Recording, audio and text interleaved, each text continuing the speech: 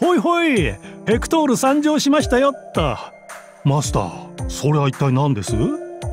おじさんそんな大層な報奨を送られるほど出来のいいサーバントでしたっけ？守備ならともかく攻撃はちょいと苦手でしてね。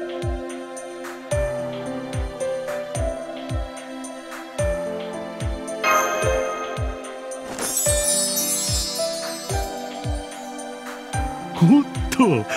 いやありがとうございます。感謝感激槍の雨。しかしこんな立派なチョコを贈られて返礼もなしじゃ英雄ヘクトールの名が廃る。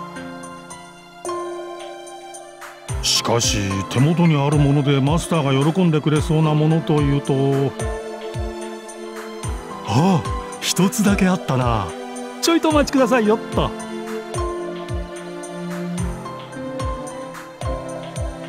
いやお待たせしましたマスター。ってわけでこちらを受け取ってください。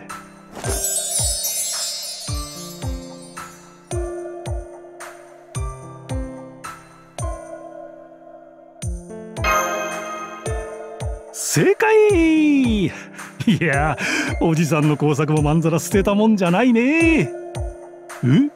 気にならないのかって？いや別に。ぜ俺にとってのトロイアは俺が死ぬまでですよ。俺が死んだ後トロイアが滅んだのは残念ですがね。国ってのは遅かれ早かれ変わるもの滅びるもの。